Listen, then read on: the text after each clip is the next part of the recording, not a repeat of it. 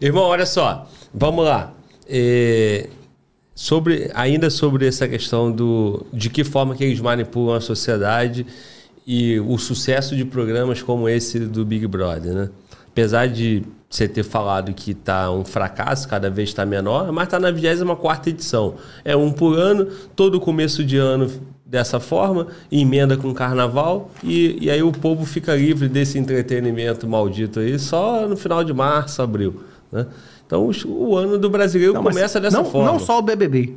Todos os programas da Globo estão sistematicamente perdendo audiência. Todos os programas, não só da Globo, da TV aberta.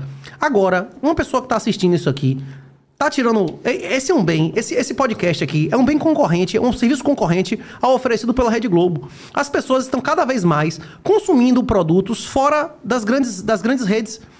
As pessoas estão assistindo, acompanhando notícia no YouTube, acompanhando notícia no Twitter, e depois eles vão migrar para outro nível, que vai ser as plataformas que, que vão ser das empresas de. literalmente, das empresas de hardware, do Google, do, do, do, do da Apple, ou para empresas realmente descentralizadas, onde você vai ser dono de sua informação, como nós TR. Quem tiver interesse, dá uma pesquisada lá, que inclusive é uma plataforma que você devia pesquisar.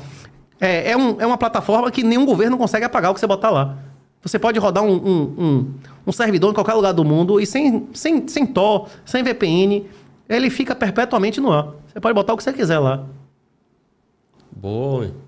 É uma alternativa, inclusive, para essas pessoas que estão tendo passado apagado. Se tivesse pelo menos um backup lá, estaria perpetuamente à disposição na internet, né?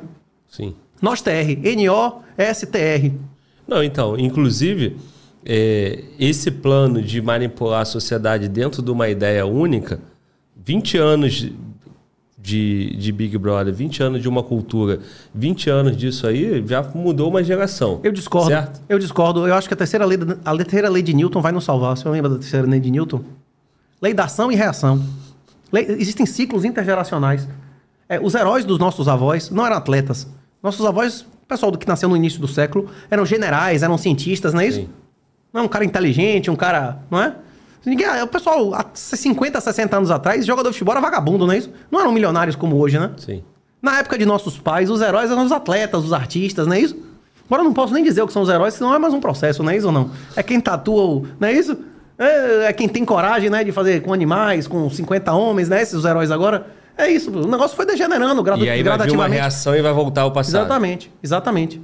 Por exemplo, eu vou fazer uma, uma profecia aqui. Eu vou fazer uma profecia aqui. É, o pessoal tá falando que vai ter a doença X, não é isso? A Rússia tem varíola?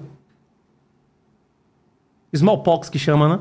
A varíola foi, um, foi uma chaga na humanidade. Era uma doença que matava em média um terço das pessoas. Um terço das pessoas que nasciam morriam disso. E um terço ficavam sequeladas, ficava estéreo, ficava cheio de marca, ficava surdo, dá vários problemas. A Rússia tem depósitos, tem, tem, tem, tem isso aí. Se isso for liberado, uma varíola, uma variante da varíola, na época eleitoral, muda as eleições americanas, Vai ter mais ou menos voto por envelope pelo correio? Hein? Vai ter mais ou menos apoio ao aumento do Estado? Pois é. Eu tô achando que vai ter mais uma doença aí e pode inclusive mudar a eleição americana, não pode não? Inclusive eles vão dizer que foi a Rússia, né? E dá tempo ainda? Não dá não? Tá em cima. Rapaz, varíola não é Covid não, que você tem que pegar em maçaneta, é pelo ar. O Covid já fez o estrago. Pois é. Covid morre 30%? Morria 1% dos idosos com não sei quantas comorbidades, né? É. A chance de uma criança morrer era 1 em, sei lá, 50 mil, né? Uma criança saudável morrer. Pois é. Vamos ver se essa doença X não vai ser varíola e se não vão dizer que foi a Rússia, né? Vamos ver se essa previsão não se. Não se... Então, mas aí vão, vão dizer. Se vão dizer, eles mesmos vão plantar e vão. Não sei, pode ser eles também. Se você estivesse no lugar de Putin agora, os caras destruindo a infraestrutura do seu país e te, te acuando, você não ia utilizar o que tivesse à sua disposição? É satânico, não? Pois é, a guerra, a natureza da guerra é satânica. Como a gente conversou na vez anterior aqui, a natureza do Estado é satânica.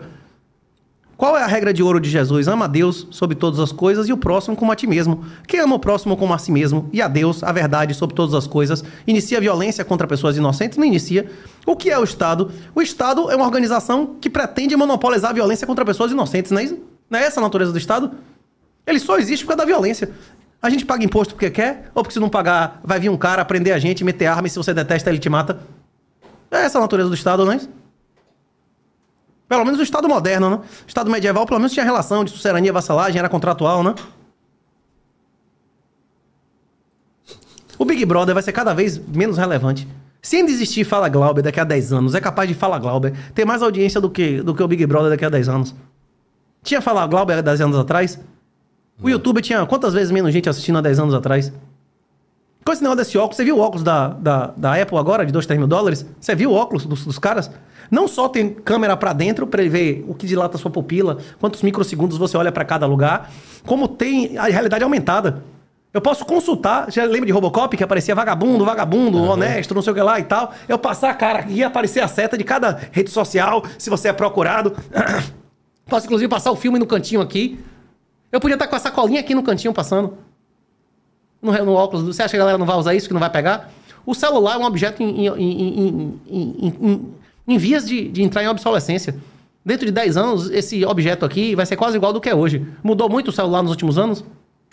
Mudou. Não, dos últimos, sei lá, 10 anos mudou, mas Não, os últimos os 3 eles são iguais, não é sim, sim. São iguais. Só falta acabar o cabo e acabar o microfone pra você poder botar embaixo d'água. Na hora que chegar nisso aí, ele chegou no limite. Aí ele vai querer outros wearables. Você vai usar o reloginho, que vai pegar inclusive seu batimento cardíaco, o pod, que vai ser dentro de você, que vai botar hormônio, e o óculos acabou.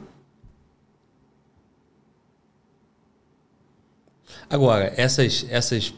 Tudo isso aí, que nem você disse do YouTube, eles estão querendo justamente é, limitar e, e regular e, Nudge. impedir A expressão- essa mudança. A expressão na economia, no behavioral economics, é nudge. Ele não quer te forçar, ele quer te tanger, não é isso? Inclusive, um dos maiores experts disso foi o orientador de Obama, que botou ele, inclusive, lá em Chicago, né? O Cass Sustain, que quiser pesquisar na internet. Sim. Pode, continua. Se, se eu puder dar outro aviso aqui. Tá bom. Rapaz, o Glauber já tá sendo. É. Pelo chat, o Glauber tá bugado, meu irmão. Ele, ele fala, fala, fala rapidão, muda tudo Esse- rapidão. De repente ele me olha assim, né? esse seu não, aí eu- órgão, esse seu órgão que você trabalha, normalmente é o paraíso dos milionários que querem ser policiais. Você lembra do Bad Boys? Uhum. Bad Boy, Bad Boy, o Ato Gonado. Um dos caras era herdeiro milionário. O cara dizia, que porra que você tá fazendo aqui que você é milionário, não é isso? Sim. O cara tinha Ferrari e tal, que comia o, o filho da, da- do outro que era coroa. Você lembra disso? Você lembra do Bad Boys, não? Lembro. Então, o outro era milionário, ele tinha Ferrari, tinha, o cara era herdeiro. Tem um monte, na polícia, tem um monte desses caras que, que são magnatas. Então, na polícia, a gente não entende por quê. Eu vou contar a história de dois desses caras aqui. Tem um, inclusive, que era motorista lá do DPT, mas era. é- Era não, é. Ele é concursado é, na Polícia Federal. Não sei se ele é armeiro, mas eu tenho certeza que ele fez a prova de. Não tem na Polícia Federal pro cara ser instrutor? É uma prova que a maioria da galera perde. Rapaz, o cara vai ser. eu- Ele é pré-candidato agora a vereador lá em Camaçari. Se eu tivesse título em, em Camaçari, eu votava nele. Jean Tavares. Rapaz, o cara. Tem gente, pô. Como tem nos Estados Unidos? Nos Estados Unidos não tem policial voluntário. O cara vai porque quer, porque gosta. Tem uns caras desses que são policial voluntário. Muitos caras pegam um serviço, às vezes de motorista, como eu falei do Ellen aqui, vários caras. Porque tem sangue no olho, o cara tem iniciativa de meter bronca. Tinha um cara que era milionário lá em, lá em Valença. Vou dar um exemplo, porque a gente estava conversando de, de pá, de, de, governador, para mostrar como o governo pode colocar qualquer um para fora a qualquer momento, com ou sem justiça. O cara era, era empresário na região lá. Só andava, só chegava no trabalho com um carro de 200 mil reais pra cima. Só magnata, ouro, é, roupa top. Glock, eu nem sei se ele teve Glock, acho que só teve de Sig Sauer pra cima. A, a, a fudida que ele andava, a arma ba- baratinha, É, aquela Glock. P365, não é isso? E as caras, eu nem, nem sei dizer o nome, era Mark 5, não sei o quê. Com 13 anos de polícia, saiu no Diário Oficial, sem ele ser notificado de nada, anulação do ato de posse dele. Você já viu um caso desse? Anulação de ato de posse? Porque ele mentiu no, na investigação social. É, é lícito isso? Se um ato foi fundamentado em um ato nulo, pode anular o ato do cara? A posse do cara? Não, se o governo foi enganado. Por exemplo, você não tem nível superior e eu descubro 20 anos depois que você não tem nível superior, eu não posso anular seu ato de posse? Pode. Você mentiu, não é isso ou não? Foi fundado. É porque era um requisito E objetivo pra você é ter aquele carro. Ele, ele, ele afirmou que não respondia processo e tinha respondido tipo uma justa causa, uma porra assim. Aham. Pois é. Anularam. O cara nunca foi policial depois de 13 anos de serviço. E os laudos que esse cara emitiu, vale? Deveria não valer. Mas Por vale. isso, por- no- no- na reforma do Código de Processo Penal, não precisa mais de, de perito revisor. Isso é uma das coisas, por exemplo, que dava muito mais segurança jurídica ao laudo pericial. Se um desses caras tiver a decisão dele anulada, a assinatura dele nunca valeu, ele nunca foi policial, não é isso? Hein? Se os advogados forem lá correrem atrás, rapaz, faca e o queijo na mão, hein? Derruba um monte. Não é- ele não foi demitido, você entende o que eu tô dizendo? Ah, Sim. o ato de posse dele foi anulado, ele nunca foi policial, ele não tem direito a nada, nem a, a tempo de serviço. Deve ter entrado na justiça tentando, como é que chama? É, Reverter? né? Reverter, Voltar. mas se vai reverter, Deus é quem sabe, né? Pode ser, mas num desses casos, o cara volta depois de 10 anos e recebe o salário retroativo, né? Tem vários, por exemplo, em Valência tem nome de faculdade. Tem uma porrada de gente aí que o cara ganha milhões e quer ser policial, quer ter a carteira. É, o professor isso? inclusive, chamava de patrimonialismo, né? Às vezes são as camadas da personalidade. Tem pessoas que vivem pra ser amadas por outras pessoas, para que todo mundo goste deles. Tem pessoas que querem ser amadas pelas pessoas que elas amam. E tem pessoas que não se importam, querem servir. Quem se quer realmente servir a Deus, não se importa se está sendo amado pelas outras pessoas. Na hora que você começa realmente a aceitar Deus, amar Deus sobre todas as coisas, você começa a desapegar, inclusive, do amor condicional de outras pessoas por você. Você começa a dizer: Meu Deus, eu não preciso que esses caras me amem, eu preciso que Deus me ame, não é isso? É só isso. É, é quando, quando Jesus diz que meu reino não é desse mundo, é começa a servir a Jesus, começa a fazer a prioridade da vida dele ser ir pra jogo de futebol, que até os times hoje em dia, bicho, você chega no jogo do Bahia, você vai, você vai pagar mensalidade pro Bahia, você vai financiar o quê?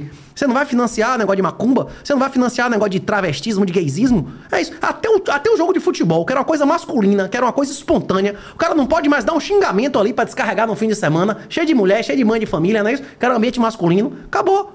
Acabou. Até pra você ir assistir um jogo de futebol hoje em dia, você tem que colaborar com o que não presta, né? Financiar o que não presta. Tá, me faz entender. A maioria das pessoas no Brasil acredita que existe um Deus, que Jesus é nosso Senhor e Salvador. As- essas pessoas mandam dinheiro pra- Vão mandar mais ou menos dinheiro pra um BBB que não tem nenhum evangélico, nenhum trabalhador, nenhum empresário, só negócio de modelos, gente que trabalha com eventos, não é isso? Yatin, que chama. Aí na internet aí, pesquisa Yatin, com ING, pra você ver que são as modalidades aí, dá, dá pra galera à vontade aí nesses barcos do, do, do Coroa da Lancha. Pois é, essa, quem é que quer ficar vendo esse tipo de coisa? Foi o que a gente perguntou aqui. Você teve fase de assistir filme pornô? Você gostava de filme pornô com viado? Como era com viado que você gostava era com mulher e homem? Hein? Até quem quer ver putaria, a maioria das pessoas quer ver uma putaria, não é isso? Ó, O quê? mano, Hein? mano, o Walter tá bem treinado que ele não cortou a câmera pra mim. Muito bem, mano, Walter. Parabéns, continua, nega.